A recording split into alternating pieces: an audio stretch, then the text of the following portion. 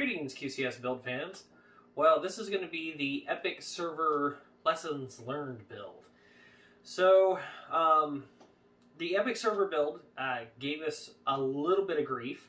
Um, basically, it all started with we got a chip that wasn't necessarily bad, but it came in the carrier backwards. Um, last time I buy an OEM chip. Unless I'm buying a hundred of them at a time, but that won't be for a while. So uh, the carrier, the chip actually came in the carrier backwards, um, and so when we went to put it in, uh, it actually went in and it didn't seat correctly, ended up damaging the socket slightly. Um, so it wasn't until later when I got ordered a replacement chip that I figured out that uh, it was in the carrier backwards. So uh, evidently what had happened is the chip had fallen out of the carrier at some point in the warehouse that I ordered it from and got put back in the carrier, but nobody paid attention to how it went back in the carrier. So, so yeah, never buy an OEM chip. so, next thing was, um,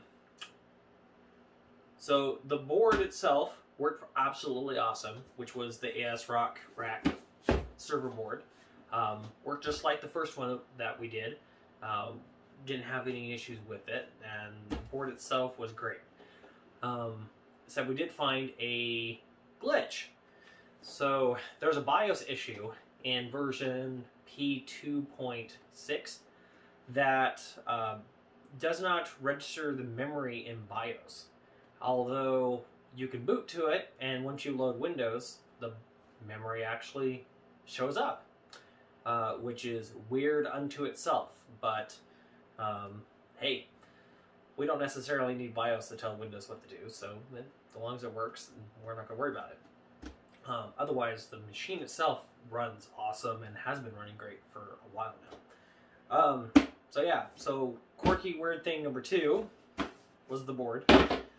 Um, the power supply works awesome. Didn't have any issues with the power supply at all.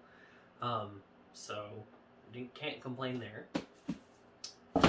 Uh, one thing we did run into, so the RX 580 Radeon card that we were going to use is not supported by Windows Server, um, which was something new that I did not know about. Um, evidently, about two years ago, um, Radeon, the Radeon group at AMD split their product segments. So you have the Radeon um, RX series, and then you have the WX series Pro, Pro cards. The Pro cards are workstation and um, server cards. Uh, so we had to go to the 3200 WX Pro card uh, in order for to get the extra video memory that we needed uh, to be able to run the virtual desktops. So, so this guy went out. This guy came in. Uh, fortunately, these are about the same price. Uh, this one's only the 3200 is only four gigs of RAM, um, but that ended up actually being more than enough uh, to be able to do what we needed to do. So, but yeah, other than that, um, we'll pull some pictures up on the screen, uh, the finished install. But uh, yeah, hung it up on the wall. Uh, that went perfectly fine. And um, got it all fired up, and it's fully up and operational at this point. So without too much fanfare. Um, a little bit late on uh, the delivery and everything, just because of all the weird, quirky issues that we had, uh, which um, is not expected at all.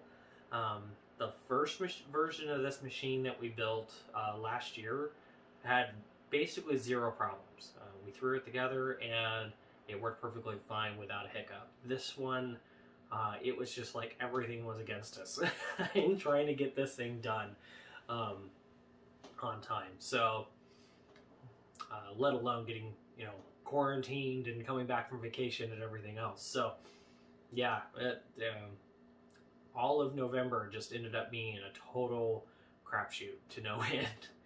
so, anyways, um, but yeah, so um, we'll also show some pictures of the network upgrade that we did.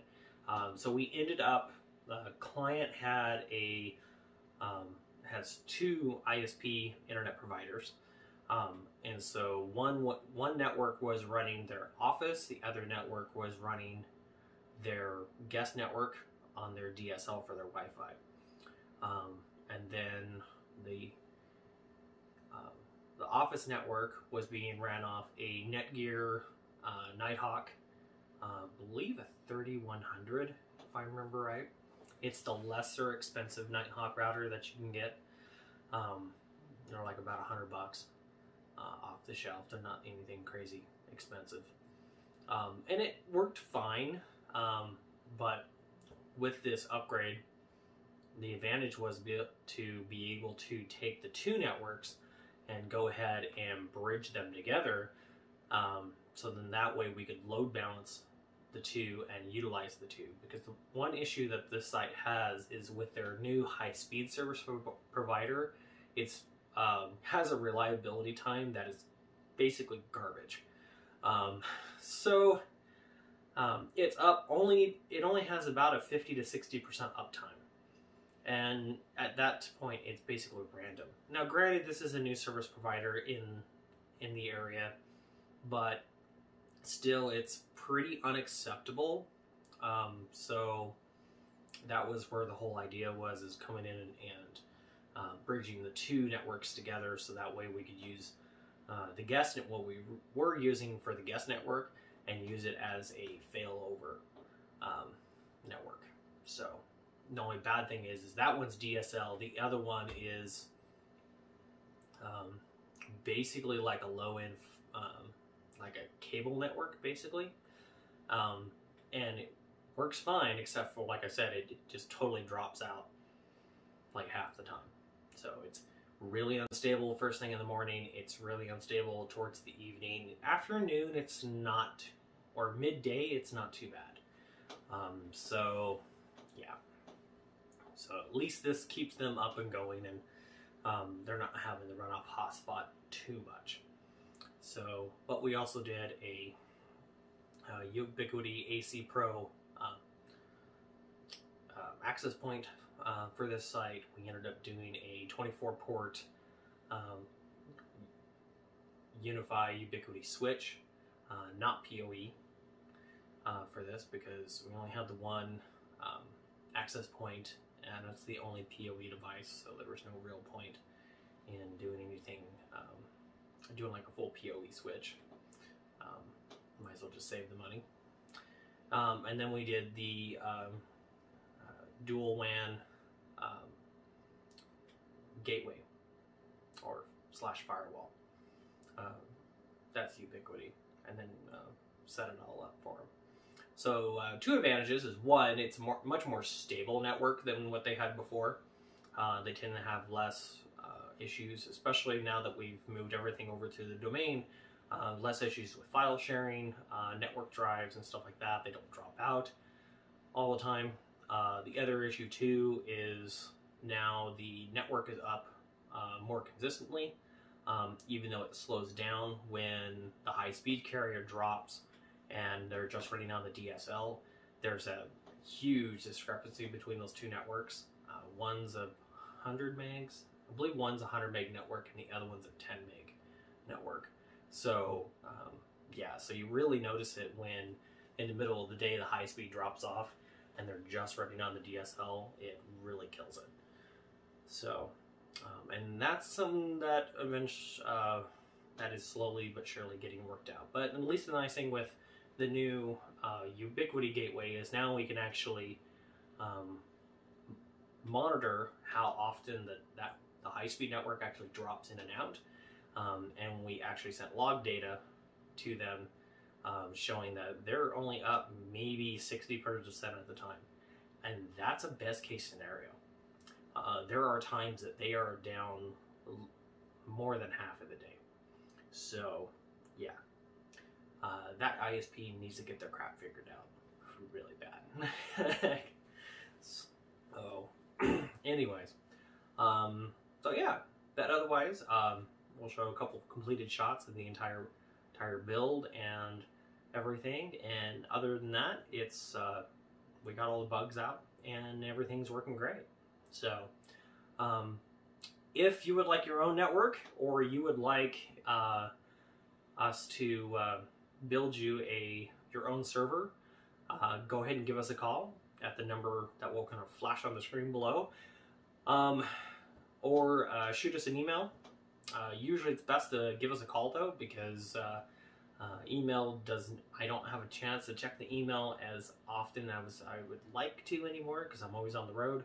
So um, if you call me, if I don't answer, leave me a voicemail and I'll get back to you and uh, we'll get your we'll get you figured out. But uh, anyways, uh, questions, comments, concerns, uh, please leave them um, in the comments section below. Uh, make sure you like, share, and subscribe uh, so we can build this up. Um, this has been doing actually a lot better than uh, I expected it to. We're uh, now about not quite a dozen videos in, and we're already at over 500 views in the first, just a little over the first month of the channel being online. So um, yeah, it's pretty interesting. This is actually going a lot better than I had planned on. So, um, uh, but we need subscribers so we can get our numbers up um, because I it looks like we're probably be um, profitable long before um, I thought we were going to be. So. Uh, at the current rate. So uh, subscribe, subscribe, subscribe. Uh, anybody else that's nerdy or a business person or anything that like to uh, you know have us work on their network or uh, build a server for them or anything like that, uh, definitely refer us along. Um, and I will be updating the website at some point. I don't know if it's going to be this month. Uh, now it being December, uh, it may be the first of the year before I finally get time to actually be able to do it. Um, with the way November went, uh, we're really behind on the appliance side of everything. Um, that and this time of year is just a very busy time of year. Um, so. Anyways, um, so but again, um, like, share, subscribe. Really, really subscribe. we need subscribers. But uh, the views are great. Uh, we're doing awesome with the view count and the watch and the watch per hours count. So um, but there's more to come. So uh, looks like there's a possibility we're going to be doing a big NVR um, or network video recorder uh, build. So uh, stay tuned for that. Uh, we're also going to do the wrap up of the um, Dark Fleet build. Um, got all the bugs worked out of that on the new system, and it's actually rock and rolling and running really, really well. Uh, really wish I could get a 5950X, but that's okay. Um, but anyways, and stay tuned because we might be doing more uh, Threadripper builds. Um, seems to be that there, there's real uh, a real want and a need. Also, we're going to do uh, probably more mini box builds. Um, so like the ASRock Industrial uh, 4x4s. Uh, there's the new Mars that just came out. Uh, really want to get my hands on one of those um, and do a build for that. Um, and also looks like the 4x4, um, the second version that just came out of those, uh, we might be doing one of those too. So uh, busy, busy, busy times uh, ahead. And on the QCS uh, service and repair side, uh, we're going to do some TV teardowns. Um, so stay tuned. lots more to come. Um, I'm going to stay keep busy, busy, busy uh, through the first of the year. So uh, thank you for watching, and we'll catch you on the next one. Bye for now.